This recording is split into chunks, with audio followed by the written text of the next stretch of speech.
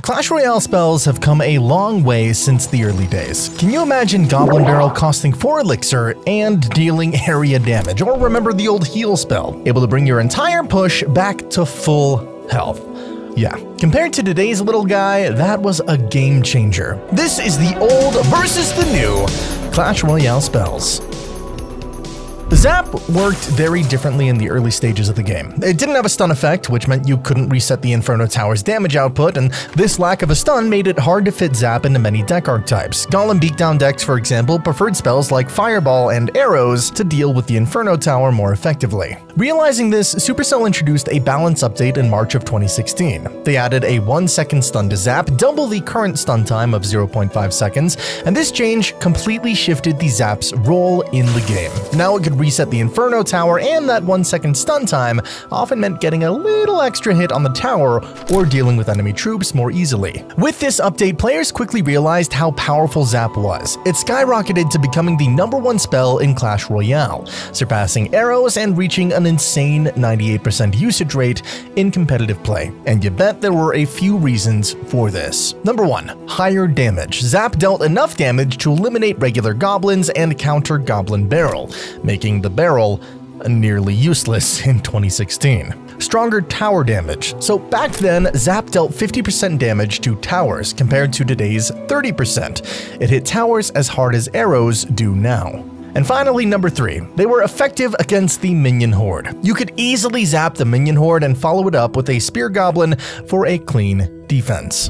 Fireball used to have 80% more knockback than it does today. This made it a great counter to a wide range of cards, pushing troops further apart and buying you just that extra second to deal with them. On the downside, certain troops couldn't be pushed back at all. For example, the balloon couldn't be pushed, which made it harder to deal with. The same went with the baby dragon, making air units tougher to handle with fireball due to the lack of a pushback. Interestingly, there were troops that you could push back then that you can't now, like the dark Prince.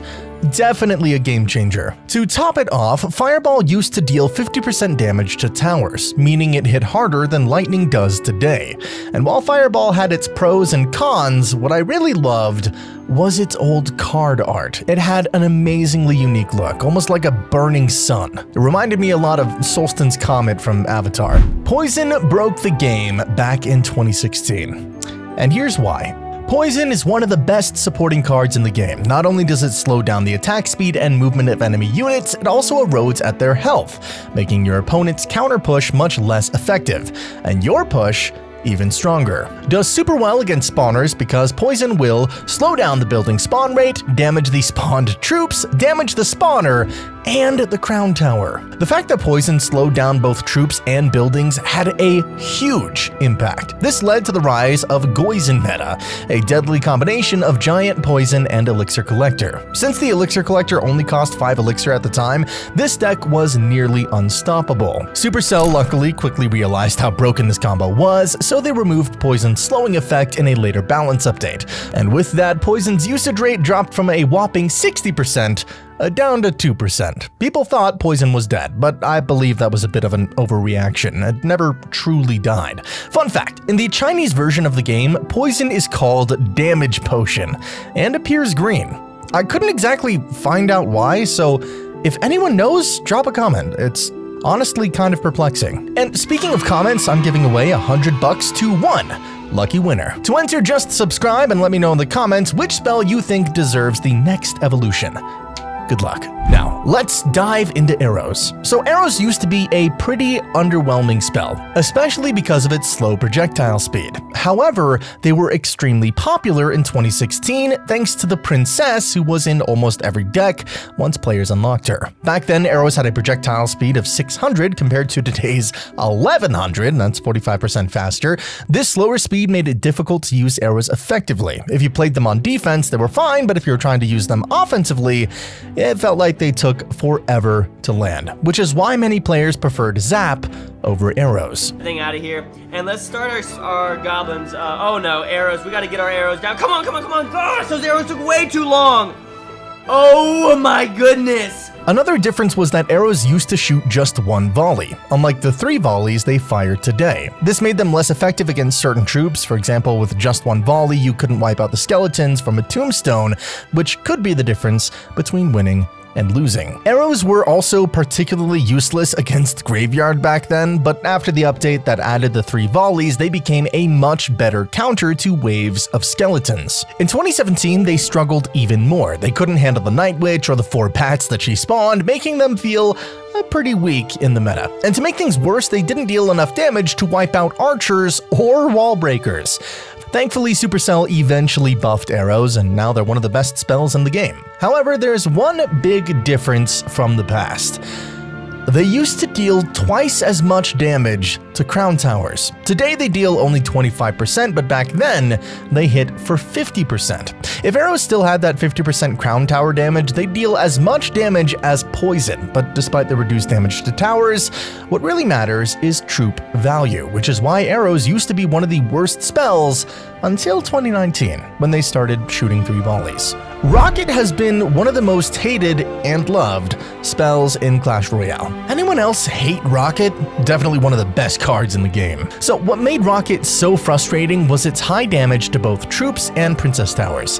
It used to deal twice the damage to towers at 50% compared to today's 25. If it still had that 50% damage, you could take down a cannon tower in just four rockets. This led to the rise of rocket cycle decks, where players could defend cheaply and just rocket the tower repeatedly to win. Even Surgical Goblin used rocket as a win condition in his log bait deck, winning the 200,000 King's Cup tournament for his team. About to get a bandit shot. Yes, the gambit is good. Two shots for the princess, and that's gonna be it, Rummy. A rocket comes out for Surgical Goblin as Surgical Goblin wins game five, and the Kings come too. They're rushing the stage. Team Queso is rushing the stage. Surgical Goblin is bouncing up and down. Clash with to add to the frustration, there were also several bugs with Rocket. For example, a mini P.E.K.K.A wouldn't get wiped out if an Ice Golem was placed nearby. The Ice Golem acted like a shield, absorbing all the Rocket's damage and leaving other troops untouched. A crazy positive elixir trade. This glitch made the X-Bow players love Rocket. If your opponent had Rocket, you could simply place an Ice Golem next to your Princess Tower and deploy the X-Bow at the bridge. If they tried to rocket the X-Bow, only the Ice Golem would get destroyed. Goblin Barrel was nearly worthless throughout 2016, and Logbait didn't even exist back then. And you might be asking, but why? Well, first, Goblin Barrel cost 4 elixir, which made it difficult to cycle, and getting 3 goblins for just 4 elixir, well, it just wasn't worth it. However, there was a twist. Goblin Barrel had area damage. See, it wasn't much, but it could still deal minor damage to the tower to clear skeletons, which, you know, was still helpful. Even with that though, it wasn't enough to justify that elixir cost. One of the main reasons Goblin Barrel struggled was because Zap could one-shot goblins, making it an easy plus 2 elixir trade for the opponent. And to make things worse, Fire Spirits used to spawn in groups of 3, which was a perfect counter to the Goblin Barrel. If you didn't predict the Fire Spirits with Zap, your opponent would get another positive elixir trade. But over time, things changed. Zap was nerfed so it no longer one-shot goblins, Goblin Barrel's elixir cost was reduced to 3 and its area damage was removed. On top of that, Fire Spirits were reworked to only spawn 1, making them less of a counter. Slowly but surely, Goblin Barrel became more popular. The log used to roll 50% slower, making it much harder to use offensively. It seemed to take forever to roll, and by the time it reached its target, cards like Princess had already done their damage. Additionally, the log's rolling distance was much shorter, at 9.6 tiles compared to today's 10.1. Honestly, that half tile difference might not seem like much, but it could be the deciding factor between hitting a princess or missing her entirely. The log also had a slower casting speed back then, meaning that there was a noticeable delay between deploying it and when it actually started rolling. To make matters worse, the log couldn't affect certain chunky troops like the Prince, Dark Prince, Sparky, Royal Giant, and Giant Skeleton. All these factors made the log pretty underwhelming despite its legendary status. That said, there were some benefits. The log used to deal twice as much damage to crown towers, and its pushback was around 110% stronger, which had its advantages, but overall, it was still considered one of the weaker spells. Fortunately, Supercell buffed nearly every stat, and the log became one of the best spells in the game. Now with the upcoming evolution mechanic, I'm pretty excited to see what they come up with. There are a few concepts floating around YouTube, maybe it could split into two logs, blow up, or even mirror itself on both sides of the arena like the Goblin Barrel evolution. I'm really looking forward to what Supercell comes up with. Let me know what you guys think would be a cool Evo idea for the log in the comments. Graveyard used to be even more annoying than it is today. For starters, it had a 20% bigger radius, skeleton spawned after 1.5 seconds compared to 2.5 today, and its duration was 10 seconds instead of the current 9. The most frustrating part was how random the skeleton spawns were. It basically took no skill. All you had to do was drop the spell and wait for the damage to pile up. Simple as that. But there was a drawback. That huge 5-tile radius compared to today's 4 made it much riskier to accidentally activate the opponent's king tower. You had to be more precise with your placements, although most of the time it didn't even matter. As long as you just had a tank in front and dropped the graveyard, that tower was likely coming down in just one push. I'm not gonna lie, I've never been a fan of this spell. It kinda always felt like it took the skill out of gameplay, especially when those random skeleton hits seemed so unfair. And maybe it's just me though. Oh, and uh, please, please, Clash Royale devs, if you are watching this video, do not give this card an evolution. Lightning used to be in a weird spot, kind of like Zap. When it first launched, it didn't have the stun ability, so it couldn't reset Inferno Tower, which made it less useful. Players didn't see much value in it because of that. However, Lightning had some sneaky advantages. Back then, there was no visual effect if it didn't hit anything, so you could secretly cycle your Lightning without your opponent realizing though, you know, it was risky. And like other spells back then, Lightning had a 50% Crown Tower damage compared to 30% today. Early Clash Royale was all about spells dealing massive damage to towers. Eventually, Supercell realized that this wasn't balanced, especially when there were decks that could win or even 3 Crown just by using spells. Slowly but surely, spells got nerfed, which was definitely for the best. Freeze used to be a total nightmare. Its duration was twice as long.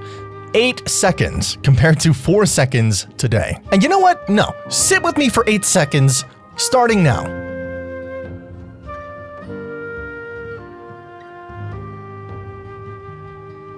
Yeah. Just why? Even at level 1, it froze for 5 seconds, and that 1 second difference alone could make or break a match. Now having a 4 second advantage, it was just it was wild. It also had a 33% bigger radius, making it even more broken, but it wasn't all perfect. Freeze didn't deal any damage, so you couldn't chip away at the tower or clear out skellies. Plus, its mechanics were different. For example, if you froze an elixir collector, it wouldn't stop generating elixir, so freezing it was pointless. And if you froze the Inferno Tower, it would freeze, but the damage output wouldn't reset. I even found a clip showing this. The Inferno Tower targets a baby dragon, its damage ramps up, then Ash freezes it. When the freeze wears off, the Inferno Tower instantly melts a barbarian because its charge was still intact. Crazy stuff. Tornado used to be so much weaker and slower. When it first came out, its pulling power was only 60% of what it is today. Now it pulls at a ridiculous 363%. Plus, it had a smaller radius at 5 tiles, but the pulling duration was almost 200% longer, 3.05 seconds compared to today's 1.05. Because of this long duration, Tornado dealt more ticks of damage, but it took forever to wipe out small troops like skeletons or goblins. However, its stronger damage made it possible to clear them out eventually. On the downside, Tornado didn't deal any damage to towers, so finishing off a low health tower could be frustrating. There were pros though, you could pull troops behind the King's Tower without activating it, which was a nice trick. And we can't forget the infamous Executioner plus Tornado combo. That's been around for over 7 years now, but in 2017 it was absolutely broken. Tornado would pull troops forever, giving the Executioner all the time in the world to slice them down. Tornado has seen some interesting balance changes, but overall it's in a much healthier place now. As for an evolution idea, I think it would be cool to give Tornado like a, a nausea effect. Troops caught in it would be like frozen in place or stunned for 2 to 3 seconds, looking around and unable to act. Another idea is bringing back the old 3 second duration but increasing the damage by 3 to 4 times, making it a stronger offensive card as well. I don't know, maybe I'm getting carried away. I'm an old Hog ExeNado player. Clone has always been a bit of a meme. It never really broke Clash Royale, but it had its funny moments and glitches. Still, it's mostly used for off-meta decks and just having fun. When Clone first came out, its mechanic was different. Instead of cloning troops behind like today, it cloned them to the side. This often caused cloned troops to get targeted by the second Princess Tower, making it harder to use effectively. On top of that, it had a 0.8 second cloning time compared to today's 0.5, and that small 0.3 second difference made a big impact, especially in close matches. Competitively, Clone is pretty much useless, and the only thing that would save it would be an evolution. Maybe if clone troops healed themselves slowly, it could give the card a much needed spark.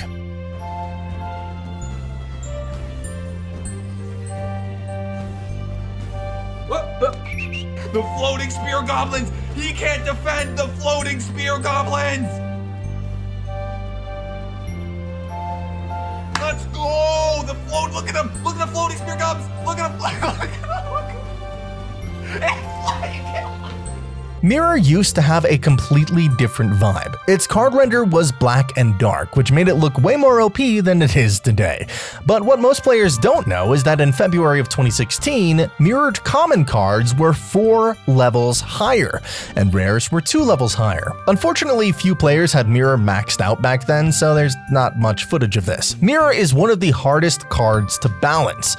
It's either underwhelming or way too strong with no real middle ground. The only time Mirror really broke Clash Royale was in April of 2022 when it got buffed to give cards plus 2 levels instead of 1. Combine that with the buffed Electro Giant, and you have the most toxic E-Giant meta ever.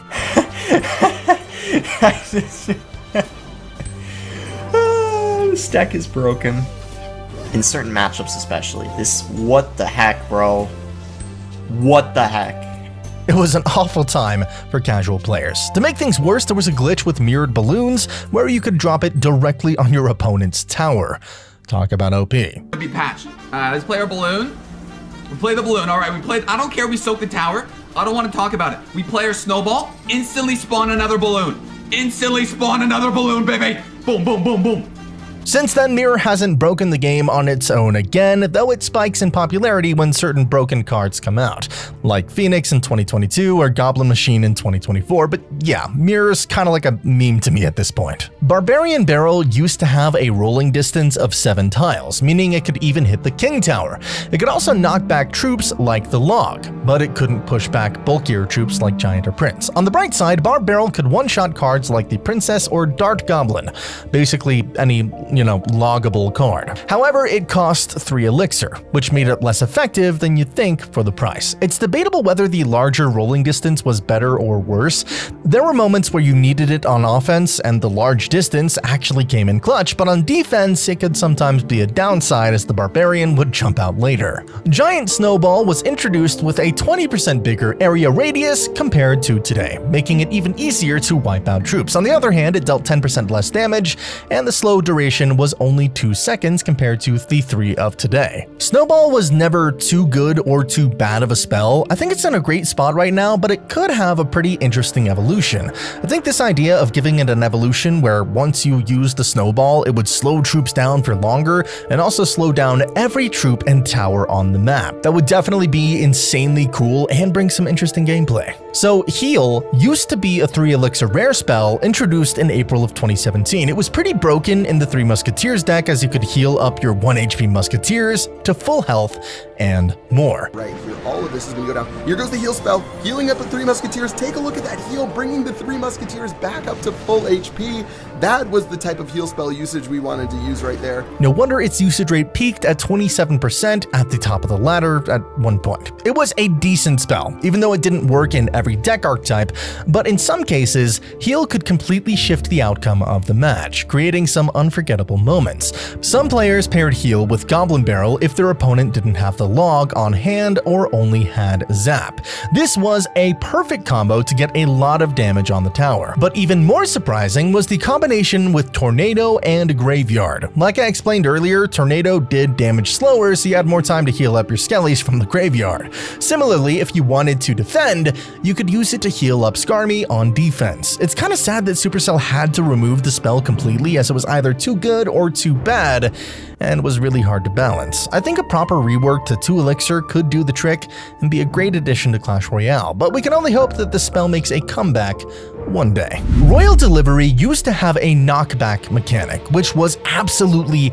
massive. It could disrupt Inferno Dragon, easily push and counter ground troops, and the removal of this mechanic hit a lot of players hard. Knockback was such a massive mechanic that they removed. Stopping a Hog Rider with Royal Delivery and Skeleton is no longer a viable option to get zero damage. However, even after this nerf, it's still a great spell for defense. Fun fact, the Royal Delivery was designed after a concept that involved a bomb.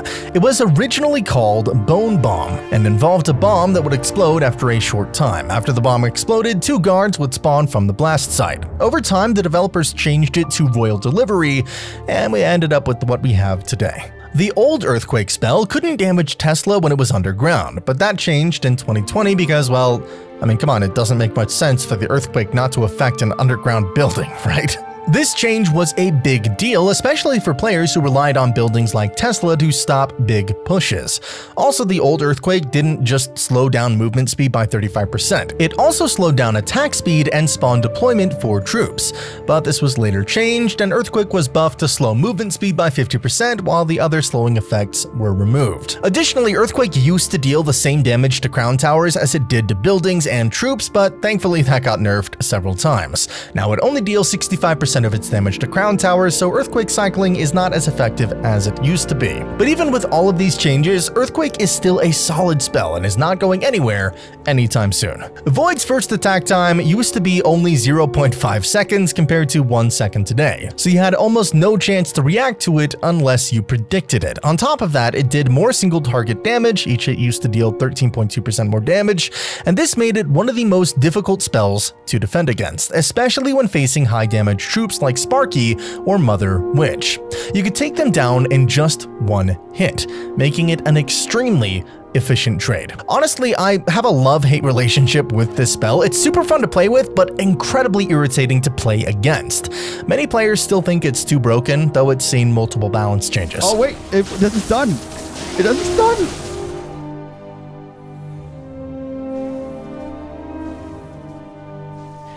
That's so balanced! Dude, what the fuck? Evolved Zap was the first spell to receive an evolution, and oh boy, was it broken. It was essentially a 2 elixir fireball because it could take out Magic Archer or Mother Witch with ease. Each hit used to deal the same damage as regular Zap, but the radius would increase to 3.5 tiles, the same as Poison. So technically Evolved Zap was like using 3 Zaps in a row for the cost of 2 elixir. Yeah, you know, totally balanced, right? Thankfully after Supercell made enough profit from it, they nerfed the Zap evolution. Now the second and third Zaps only deal 50% of the original damage, so it's far from what it used to be. That being said, I'm happy that Zap received the first spell evolution because it was kind of underwhelming for a long time. Now it's back in the spotlight, even though it's no longer the powerhouse it once was. Evolved Goblin Barrel is probably one of the most balanced evolution introductions in Clash Royale history. As of the time of writing this, it hasn't received any balance changes, which is a sign of good design. Fun fact, the card's description says Evolved Goblin Barrel is like a box of chocolates. You never know what you're gonna get, which is a reference to the movie Forrest Gump. Pretty cool. Before Goblin Curse was released, its damage was reduced by 41.9% and its Crown Tower damage was reduced by 20% from 30. You can see just how powerful this card was in OJ's video. It literally wiped out skeletons in less than 2 seconds and turned them into goblins. But that's not all. Supercell did not stop there. They also added a damage amplification effect inside the Goblin Curse's radius. Not 20%, not 30%, but 50% more damage to troops caught inside the curse. And to top it off, the radius used to be 4 tiles, the same as arrows. So for just 2 elixir, you'd get an army of goblins in a second, while also killing troops twice as fast in a ridiculously big radius. It was honestly insane how overpowered this card was. What I love about Clash Royale is that despite all the pro players saying it was too broken and needed nerfing, Supercell didn't listen to that feedback right away. After months of testing, the card finally got balanced, and now Goblin Curse has a 3-tile radius and a plus 20% damage amplification. While it's definitely more balanced now, I think they nerfed it a bit too hard. The card only has a 1% usage rate and a 35% win rate, which shows it's really underperforming. A small buff like increasing the damage amplification back to 30% or giving it a bit more damage could make it more competitive again. And now the spell I've been dying to talk about and you've been waiting to hear about. Rage. Rage has an epic journey, from its days as a 3 elixir spell that covered half the arena to a complete rework that totally changed the game. This spell has a history like no other in Clash Royale, so go ahead and watch this video next, where I dive into the incredible evolution of the Rage spell. See you there.